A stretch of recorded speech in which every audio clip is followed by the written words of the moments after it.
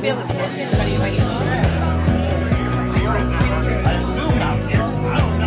Welcome to Vista. It's so great to see so many of our chamber friends. On behalf of Congressman Mike Levin's office. My name is Ryan. I'm with Assemblywoman Laurie Davies' office. I'm Adrienne Cisneros Seligman. I work for Supervisor Jim Desmond.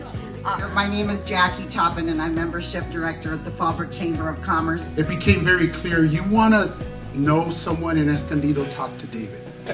Uh, marketing, talk to David. And then I became a pastor in Fallbrook and Oceanside and it was talk to David. And I began to realize that there was something very special about this man. He is a master connector, and that's what I love about him is he's always connecting people, bringing people together to form meaningful uh, connections. You're truly a force to be reckoned with, and our small businesses are very grateful for everything that you do. And those that don't know the story is, uh, I had to take time off to take care of my mom that died of Alzheimer's. So when I came back, I wasn't out, the job was gone. And I said, well, if I can sit here and support a chamber like Oceanside, I go, why can't I create this North County idea? And that's where the idea was born. Last year, we did 140 networking events.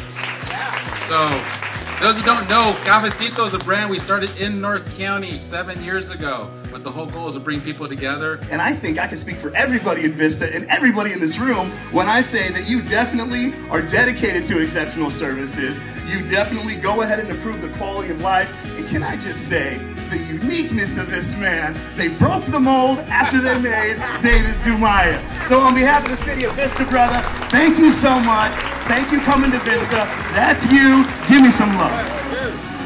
Thank you for coming out here. This is awesome.